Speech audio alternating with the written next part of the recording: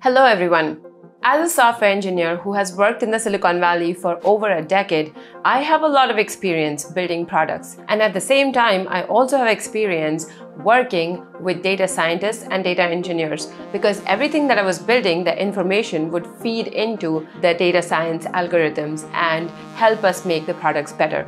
So in this video, I'm going to compare and contrast the two roles, that of a software engineer and of a data engineer also data scientists. I will also explain how these roles work and what is the impact that these engineers can make to the company. By the end of this video, you will have a clear understanding of the day-to-day roles, how much each position pays, and if it is possible for a software engineer to become a data engineer slash data scientist and reverse the roles.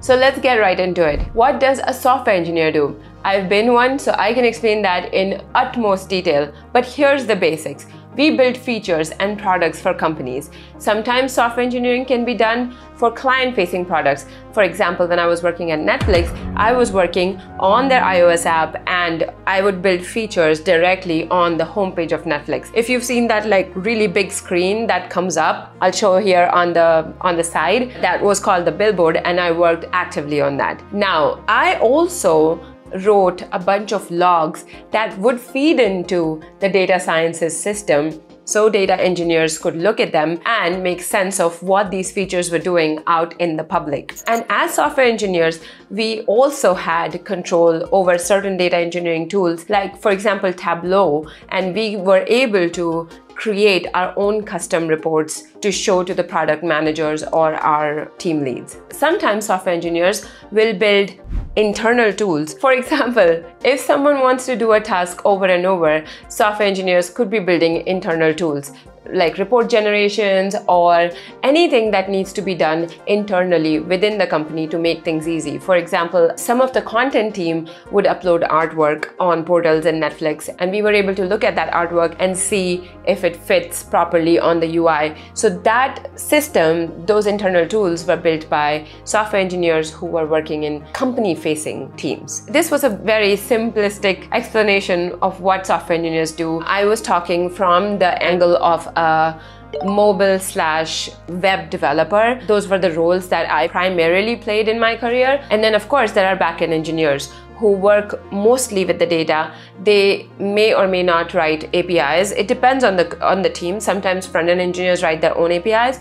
Most of the times, backend engineers will create the entire API that front-end engineers can use and then integrate the two systems together. So this is mostly what software engineers do. Let's get back to data science and data engineering. If you have no idea what data scientists slash engineers do, let's take an example of going to the supermarket. If you've ever found milk and bread placed close to each other, a data engineer or scientist may have something to do with it. Let me explain how. When supermarkets were first created, there wasn't a lot of data backed product placement happening. Now, once we started mining this data, giant amounts of data. So for example, if it's a big supermarket chain, they are getting hundreds of thousands of customers every day. The receipts of those customers are parsed and put into a data mining system. Over there, one of the problems that the data engineers could be solving for the company is figuring out what items are frequently bought with other items. So milk and bread is one of those examples. Once they saw that the frequency of milk and bread is pretty high when they're bought together in say 75% of the receipts, I'm just making that number up, but that is statistically significant. Now the company gets this report and has the ground forces place these items close to each other. More and more people see the milk, they buy the bread. They see the bread, they buy the milk, and they increase the average order value of this customer shopping during this trip and hence improving profits for the company. So this was a very basic example of how data science can solve big data problems. Now, here's where we can start talking about data science versus software engineering. Your first question to me was, how much do each of these careers pay? And that's a very interesting question because it really depends on which company you are going to. Most of the FANG companies, the big Amazon, Google, Facebook, Netflixes of the world, will pay software engineers and data engineers about the same salary. Here's a screenshot from levels.fyi. If you're ever curious about salaries, this is a really good resource to go to and look at verified salary data. From Glassdoor, I found that some of the smaller companies will pay data engineers less than software engineers. And the reason for that is in a smaller company that is not data driven yet, because just think about it, this small company doesn't even have enough data to mine from. So most of the decisions are being made at the product level or the CEO level. And software engineers have a much higher impact in those companies than data engineers. So naturally, the software engineers are getting paid a little bit more, sometimes double the amount. But when it comes to giant companies like Google, Facebook, Netflix, these companies have tons and tons of data to play with. They are at a stage where they're already making a lot of money. They have millions, if not billions, of customers. And now their biggest and best features cannot come from just human minds. We have to now look at the patterns and how the users are using these websites. So for example, when you're scrolling through Facebook and you stop at a certain post, whether it's an advertisement or whether it's a post from your friend, you will notice the more you interact with these posts, the more Facebook will start showing you similar posts. And I suspect something in the data pipeline is creating those reports for the internal systems and product managers and leaders are going like, oh, this is pretty cool. This type of person, a female, 25 years of age, is interacting a lot with the makeup ads. And the data that went inside this system was just user information, how long did they stop on a certain thing for?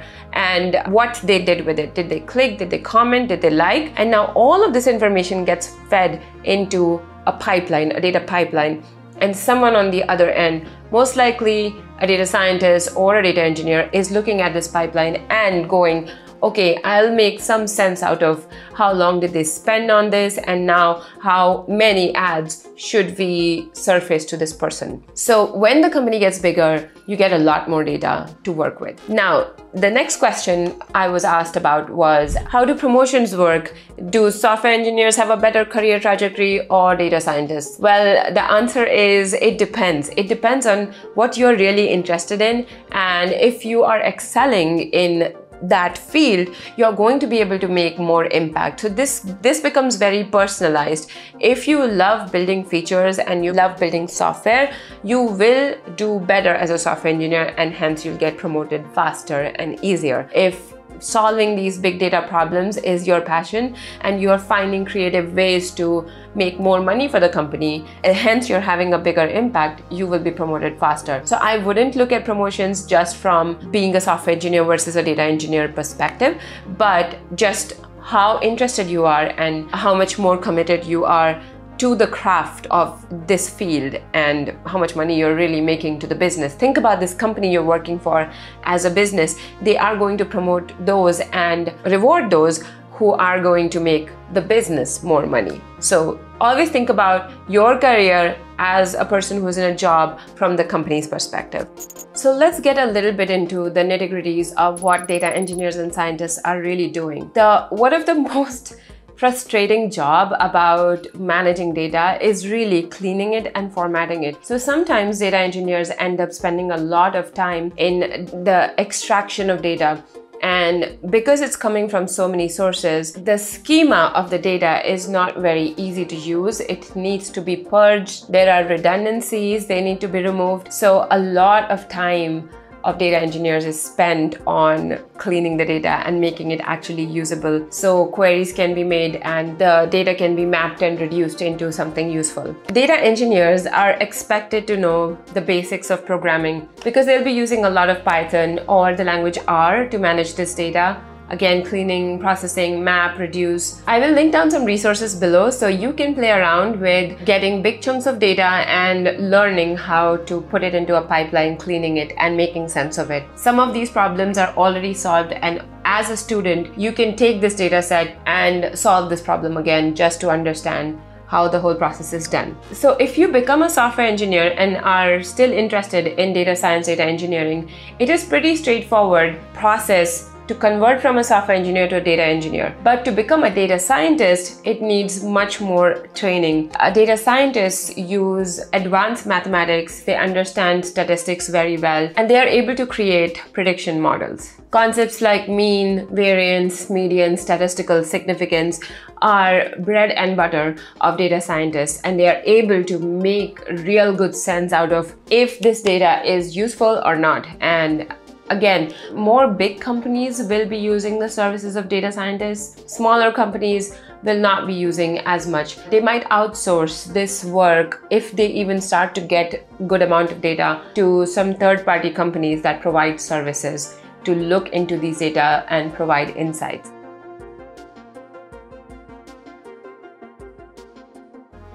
In software engineering, definitely we have these different types of software engineers like full stack, back end, front end.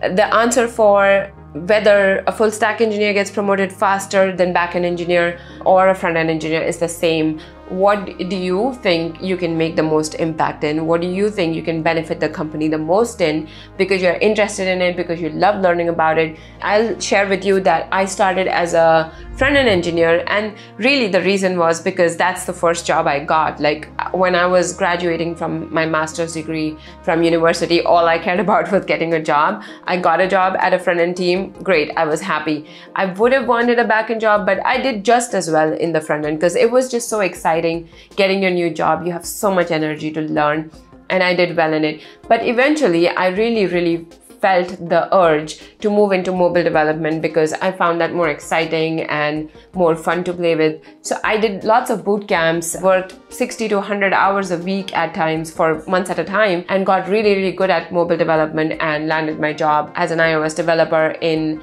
Fox and then eventually at Netflix. So you do have to follow your interest. You do have to follow the field that you think you'll have the most fun with, and then you just choose from there. It's fine to keep switching and experimenting. So you, so say for example, you start as a front end developer for two years, get comfortable with your back end developer coworkers, and start learning by taking small projects. Just fix a couple of bugs in your backend system, see if you're liking the structure of the code base and you enjoy solving problems there. You can switch roles from front end to back end and then figure out which one you like more and take it from there for the rest of your career. So there will never be a good answer to hey I, I, want which one should i become you have to try and figure that out for yourself the more experience you get in different systems the more well-rounded you'll be as an engineer so i always highly recommend diversity of skill instead of just drilling a really deep hole in one place. You won't get too much out of it. Once you get comfortable, start looking for other things to learn. That's it for today's video. And if you liked this video about which engineer to become, I also have a video about how to become an engineer and get a degree in the lowest cost possible. So watch it right here. It will be linked in the description and I hope you have a great day.